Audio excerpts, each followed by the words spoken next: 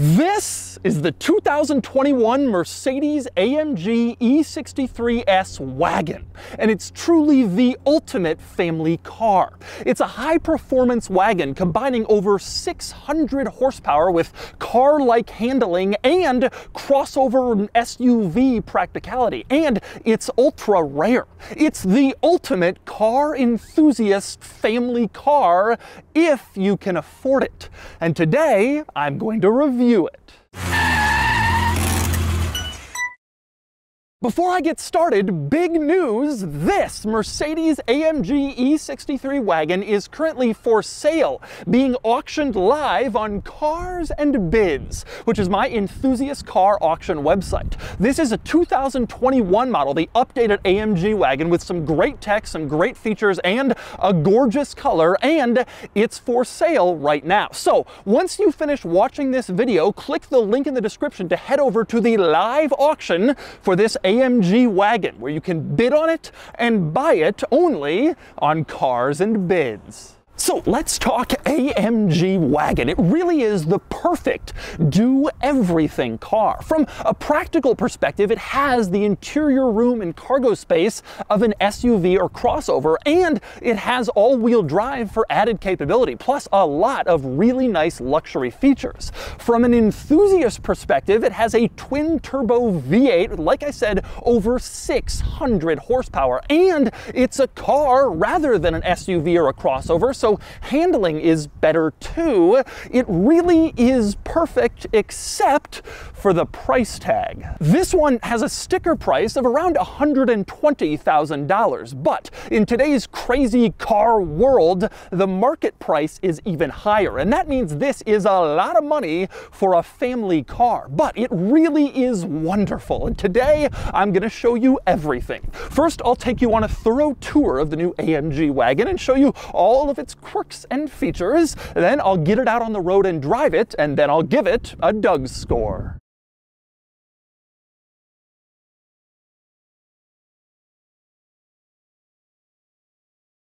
All right, time for the quirks and features of the new AMG E63 wagon. Now, I reviewed this car when it first came out four years ago in its latest body style, four years ago this week actually, but it has been heavily updated for 2021. So I figured I'd go through everything again and start with the 21 updates, and that means starting with the front end, which is totally different from the outgoing model. It's more aggressive, the grille has gotten larger and more muscular and more grrr, tough AMG car. So you have a larger grille and just a generally more aggressive front end. You also have updated headlights. These are actually a little smaller than the ones in the outgoing model, but they fit Mercedes' latest design language and theme. The look and shape of these headlights has been incorporated into most new Mercedes models, and for 21, it's on the new E-Class too. But the changes to the outside of the latest AMG wagon are actually pretty minimal compared to what's changed inside, where you have some fairly significant upgrades. Now, one of them is is the latest MBUX infotainment system,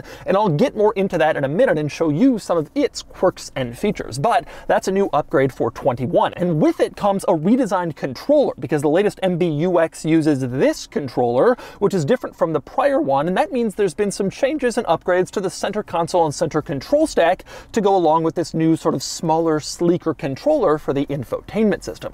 All that's pretty good, but probably the best change for 21 has been to the steering wheel wheel. For one thing, it looks a lot better than the outgoing model steering wheel. You can see this beautiful modern look, and it is now capacitive touch, which is a bigger deal than you might think. When you're using the driver assist technology and the car is accelerating and braking and steering for you, the prior model required you to like jiggle the steering wheel every so often so it knew you were still there. Now, because it's capacitive touch, you can just keep a hand on the steering wheel. You don't actually have to move it. It will recognize that your hand is there and then it will just keep steering for you since it knows you're paying attention. That is a pretty good upgrade. But let's go back to that steering wheel for a second and let's go through its unusual quirks and features because there are many. One glance at this and you can see it is a very complicated steering wheel. There are now five spokes coming off it, plus two shift paddles and these little circular controls at the bottom. A lot of stuff has been integrated into this steering wheel. Undoubtedly the quirkiest stuff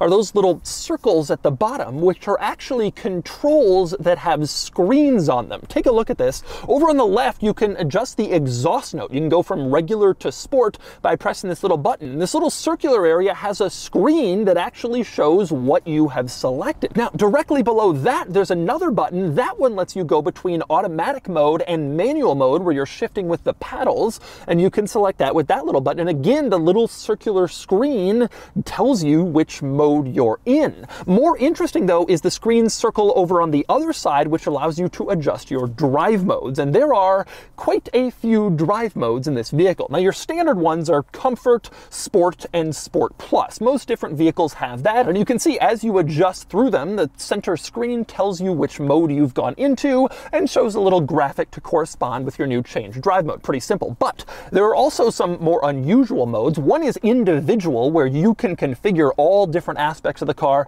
to fit whatever you want personally. So you can have like comfort suspension, but racy throttle response and exhaust note, whatever you want, that's configurable too. And there's also a wet mode for if you're driving this in snowy or rainy conditions. And there is also a race mode for if you're trying to take your family station wagon on the track. Now, in addition to these modes all being shown in the center screen, they are also shown on this circular dial screen on the steering wheel. And you can see as you rotate through the modes, the screen this dial actually changes each time with each individual mode to let you know what mode you're in. And I especially like the display for race mode, which shows like a checkered flag in red to really confirm how racy it is, and wet mode, which just shows a snowflake. There are many different modes to this vehicle. Now, it's worth noting that you can also adjust all of these things in the center console, which is also a short reach away from driver or passenger. This button here will turn on or off the sport exhaust. You just press it and it goes on. This button here will go between drive and manual mode. You just press that you can switch between the two. And this little switch here goes through your drive modes, all of your sport, comfort, etc. You can do all of that here in the center console. But why would you when you have such cool little buttons, screen, dial things mounted right on the steering wheel?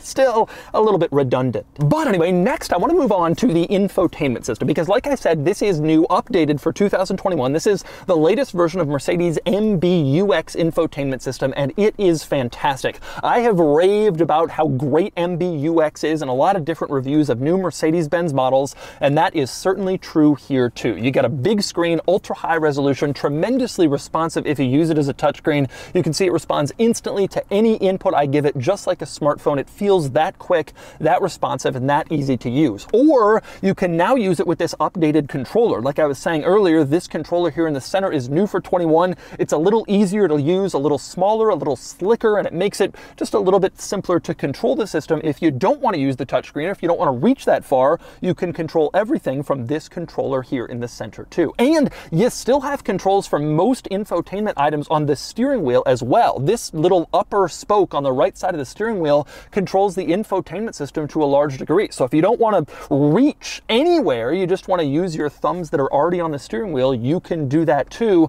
So you have multiple different ways of controlling this fantastic infotainment system. And it's the same story with the gauge cluster in this car, which is also a very large screen. You can see pretty much mirrors the size of the center screen, but directly in front of the steering wheel for your gauges. This too is a fantastic system, tremendously easy to use and very configurable. You can see you can adjust all different components of this screen. So over on the left inside this circle, you can go through various different items showing different information and displays. Same deal in the center, you have a wide range of different options you can choose from to see various displays, readouts, etc. And even over on the right, all very configurable so you can have it showing exactly what you want to see at any given time. And you can even make the center display full screen. So if you want the map to be larger than this, for example, you can have a full screen map and everything else is kind of minimized so the map is directly in your line of sight. And you can do that full screen trick with various different displays in this infotainment system so you can have all sorts of things display large, small, whatever you want. Very, very configurable and easy to use. And in addition to being easy and intuitive, these infotainment systems also have some rather unusual quirks and some interesting features they control like panel heating. Check this out. In your car, you can turn on the heated seats and then your back and your butt are warmed. Pretty standard. But in this car, you can also turn on panel heating. And when you do that, when you activate the heated seats, the door panel armrest and the center armrest will also heat up. So not just your back and butt are warmed, but also your arms if you place them on the armrest, which is a wonderful luxury touch. And how about this? This infotainment system has a feature called automatic seat adjustment. If you input your height, the seat will automatically adjust to where it thinks your optimal seating position should be. So rather than you adjusting the seat to fit perfectly where you think you should sit, the car is smarter than you and it will tell you where it thinks you should sit if you use that feature. I also absolutely love the different themes of this infotainment system. You can see there are three right here. This is classic and it looks like a fairly classic display, I guess. Or you can switch into sport, which frankly looks like the same as classic, except with a different kind of racier color. It looks a little more exciting. Or you can switch into a display mode called super sport, which is just ridiculous. It almost looks like a caricature what a child would think that like a race car gauge cluster display should have. But that is one of your display options if you want it. If you want to go into super sport, and almost feel like you're piloting an airplane in your gauge cluster screen. And how about this? AMG Track Pace. And if you tap on it, well, it's rather interesting. There is a lap timer function where you can select from a local racetrack or input your own and then time your laps and compare them. A lot of performance cars have that, but this takes it quite a bit further. There's also a drag race function where you can measure all sorts of things, including your quarter mile time and your acceleration, 0 to 60, 0 to 120. You can set what you're measuring and then the car will measure it. It's almost like goading you into making some real high speed runs and measuring. This app even allows you to measure your braking. If for some reason you want to slam on the brakes and see just how fast you slow down, you can do that in this AMG Track Pace app that measures all sorts of track and performance driving. And of course, there's more than just that. You also have like a generic AMG performance app. You can tap on that and get any readout you want basically while you're driving along. It'll show you exactly how much power is going to each wheel. It'll show you exactly how many G forces you're pulling. It'll show you a real-time readout of your horsepower, torque, even kind of geeky things like transmission temperature. You can find all of that in here. But just in case you thought this car was going a little too much to the high performance side, it still has some more tricks up its sleeve to remind you that it's a luxury car, including the ambient lighting color. You can go in here and adjust the interior ambient lighting color to various different pre-named, pre-selected colors. You can even choose like the color mix that mixes all sorts of different colors. So you're driving along at night and your interior mood ambient lighting is lit up in whatever colors you have desired. This car also has the cool feature some new Mercedes models do where you adjust the climate control temperature and the ambient lighting briefly adjusts to correspond. So you make it hotter and you can see it turns red, the ambient lighting to correspond with additional heat. If you adjust the climate control to make it cooler, you can see the ambient lighting briefly turns blue to correspond with the cooler temperature input you've just given, warmer, cooler, red, blue. That is kind of a neat little quirk of new Mercedes models. But anyway, next we move on to the back seat in the new AMG wagon, and I gotta say, it is quite comfortable and roomy back here. I put the front seat back further than the position where I would actually sit, and I still have room back here. Obviously good headroom and decent knee and legroom in the back too. It's pretty large if you want to carry rear passengers, and part of the reason for that is the excellent design of the front seats. The front seats are quite comfortable when you're sitting in them. You can see nicely bolstered, luxurious. They look like comfortable seats seats, and they are. But you can also see in back, they're designed to kind of curve in exactly where your knees would be for a rear passenger in order to maximize to the millimeter the amount of space that rear passengers have sitting in back. So it's a pretty nice design balancing comfort of front passengers and interior space of rear passengers. Now, other interesting quirks in the back seat. For one, a little disappointing you don't have climate controls back here. You can see on the back of the front center console, you do have climate vents, so there is air blowing back here, but it's whatever the front passengers select, you can't actually adjust it from the rear, which is kind of disappointing given the price point of this car. I will say though, I do like the power outlet situation back here. You pop open this panel and you have a cigarette lighter style outlet and a household style power outlet, which is pretty nice. I like seeing USB ports in the back of cars for charging devices, but a household outlet is even better. It's rare you find it, but this car has it. Would have been nice to have a third prong though, ground for plugging in a wider range of devices, but it's still pretty good and pretty nice feature to see in the back seat. You also have sunshades back here, built-in sunshades. You pull on this little tab, you can lift up the sunshade and then place it on these little hooks to block out sun coming in through the rear window. That's nice to have. If you have a little baby, an infant, they're sensitive to the sun. You don't have to go buy some sunshade or a wrap over the window. Instead, you just lift up the built-in sunshade and your life is easy. Which, by the way, helps to prove that this really is a usable, practical family car. It might be an ultra high performance, big power V8, but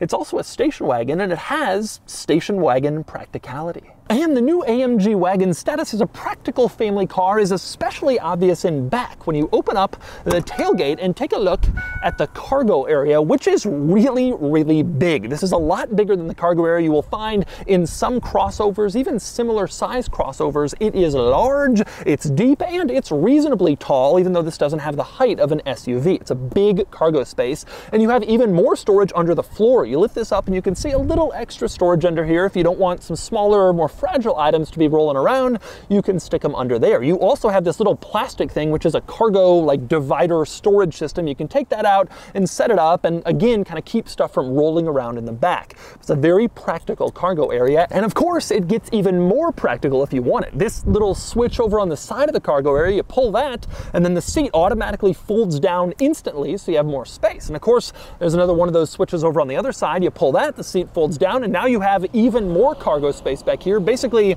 an enclosed Mercedes-Benz pickup truck with 600 horsepower. But when you get into the back of this car, just as much as you're reminded that it is a reasonable, rational, practical family vehicle, you are also quick to discover that it isn't. Because when you look around back here, you see a massive rear diffuser coming out the bottom of the bumper and quad exhaust pipes all surrounded by carbon fiber, little indicator that this is something different from a normal family wagon. And of course, the quad exhausts sound pretty good coming from this V8. Take a listen.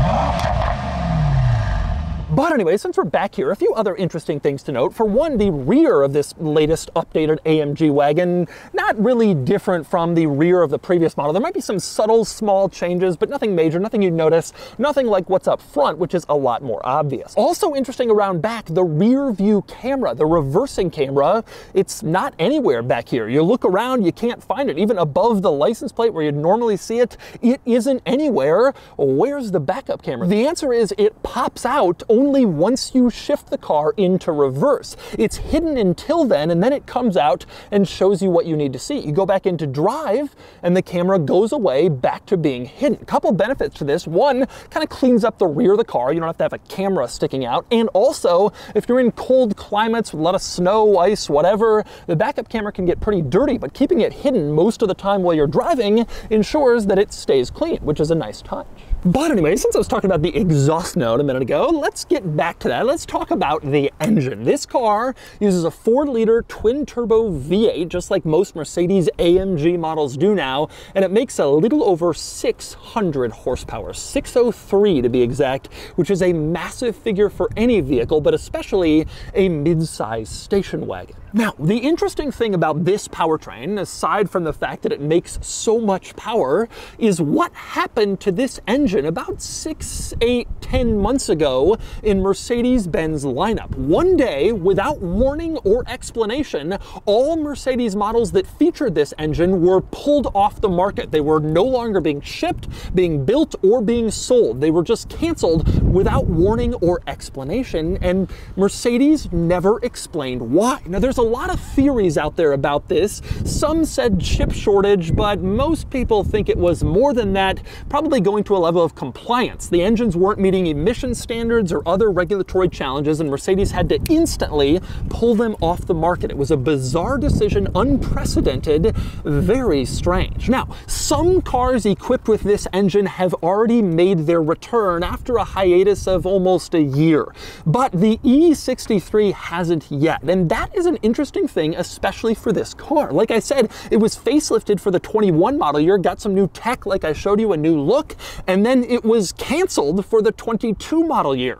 And that makes this an especially rare and uncommon vehicle. And it's helped shoot market prices for these 21 AMG wagons through the roof, since there's a possibility new ones aren't going to be made. Now, since I'm on the outside of the AMG wagon, I also want to talk through styling. I love how this car looks. I love it's subtle, it's beautiful, it's simple, it's a fantastic design. I really think the latest E-Class came out in 17 is the most beautiful E-Class ever. And that's saying something because there have been a lot of E-Classes and I've owned five.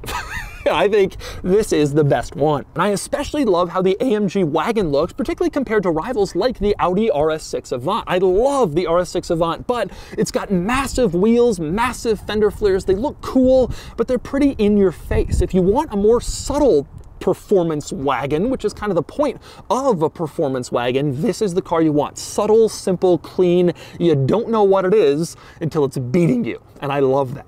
And so those are the quirks and features of the new Mercedes AMG E63 wagon.